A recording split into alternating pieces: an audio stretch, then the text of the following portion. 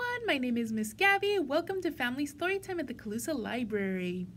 So, it's June, it's hot, and it's getting hotter. What is your favorite thing to eat on a hot summer day? My favorite is definitely ice cream. So today we're going to be reading Simply Delicious by Margaret Mahy and drawings by Jonathan Allen. Oh, that looks like a pretty good ice cream and a fun adventure. Let's get started.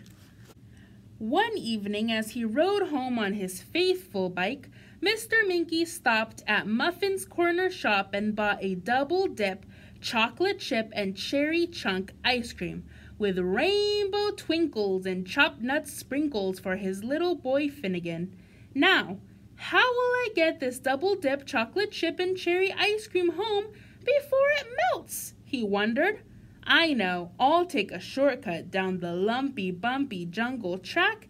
It runs into my back garden. Do you think that's a good idea? I'm not so sure. Mm.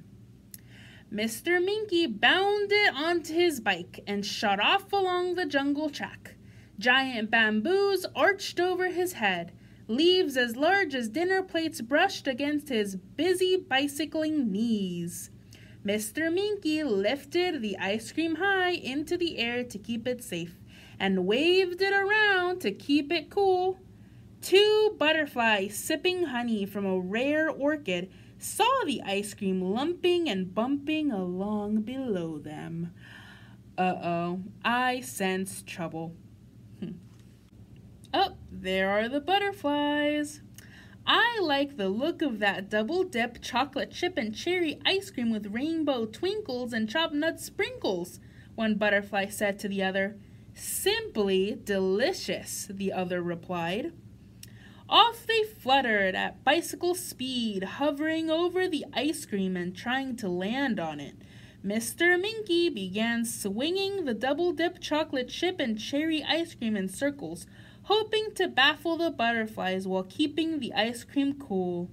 A toucan, perched on a swaying bamboo, saw the ice cream bumping along the track below.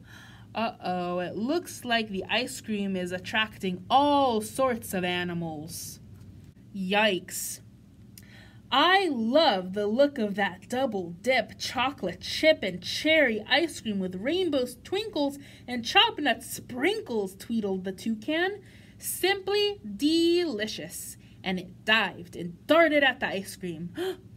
Mr. Minky, biking hard, swept his left hand down and held the double dip chocolate chip and cherry ice cream at knee level waving it in circles to baffle the butterflies, taunt the toucan, and keep the ice cream cool.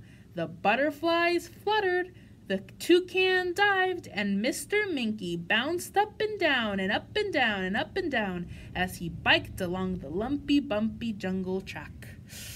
Ooh, maybe some more animals are gonna see that ice cream and follow him. Oh wow, it's a monkey! A spider monkey. Oh, spider monkey. A spider monkey peering out from under the creeper saw the ice cream lumping and bumping by only inches from its nose. I love the look of that double dip chocolate chip and cherry ice cream with rainbow twinkles and chopped nut sprinkles, said the spider monkey. Simply delicious. And down it swooped to the ice cream. Do you think he let it go yet? Oh, it's gonna be tough. All of those animals after him? Mm-mm. Wow. Mr. Minky whipped the ice cream up once more, holding it straight out in front of him. Then he waved it up and down to baffle the butterflies, taunt the toucan, not muddle the monkey, and keep the ice cream cool. I'm surprised it hasn't melted yet.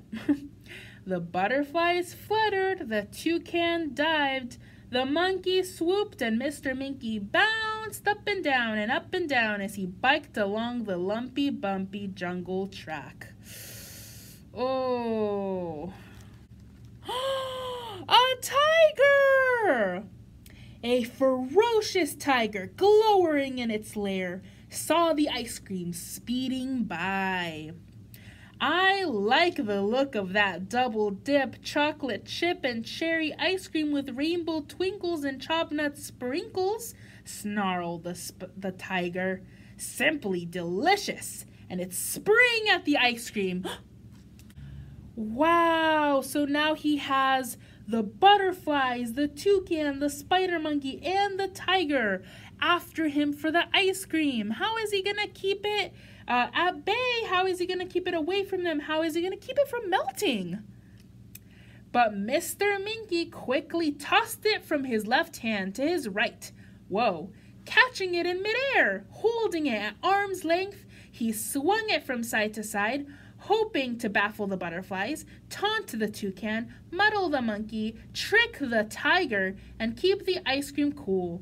The butterflies fluttered, the toucan dived, the spider monkey swooped, the tiger sprang, and Mr. Minky bounced up and down and up and down as he biked along the lumpy, bumpy jungle track.